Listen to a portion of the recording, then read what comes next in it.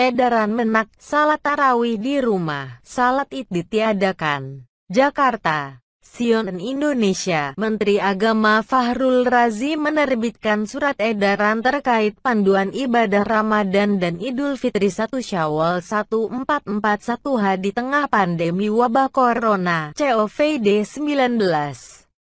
Razi menilai umat Islam diperkirakan akan menjalani ibadah puasa dalam suasana berbeda tahun ini seiring terjadinya pandemi wabah virus corona.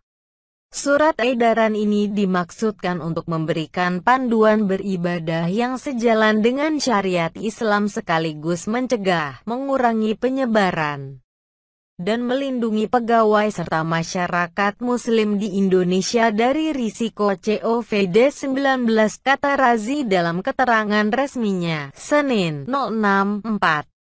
Surat edaran yang bernomor 6 tahun 2020 itu salah satu poinnya mengatur mengenai pelaksanaan salat tarawih agar dilakukan bersama keluarga inti di rumah masing-masing. Salat tarawih dilakukan secara individual atau berjamaah bersama keluarga inti di rumah, kata Razi dalam surat tersebut. Tak hanya tarawih, Razi turut menginstruksikan agar prosesi sahur dan buka puasa dilakukan oleh individu atau keluarga inti di rumah masing-masing. Ia melarang adanya sahur on the road atau buka puasa bersama. Buka puasa bersama baik dilaksanakan di lembaga pemerintahan, lembaga swasta, masjid maupun musala ditiadakan, kata dia.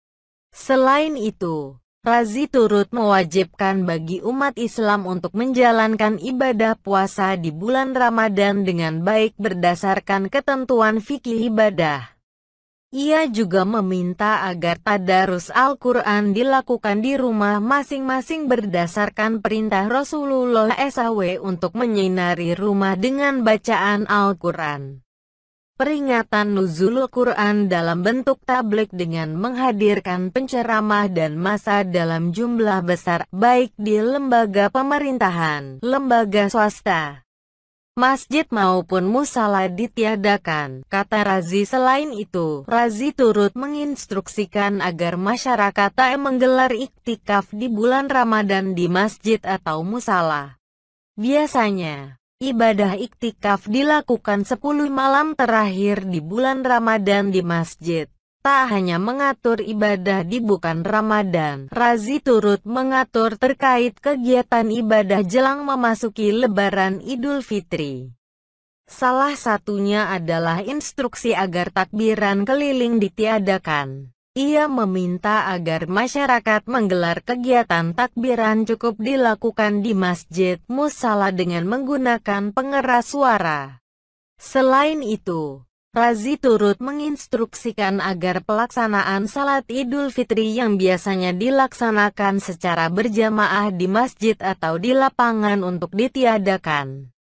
Ia pun menunggu terbitnya fatwa MUI terkait pedoman ibadah salat id di tengah wabah corona.